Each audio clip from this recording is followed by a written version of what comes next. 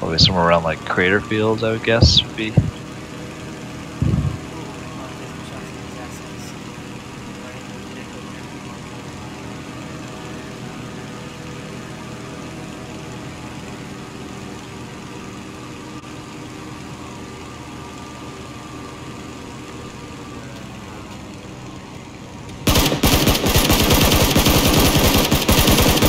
I knocked one. Wow. What? What? I'll uh, try to remind you to save the save the replay.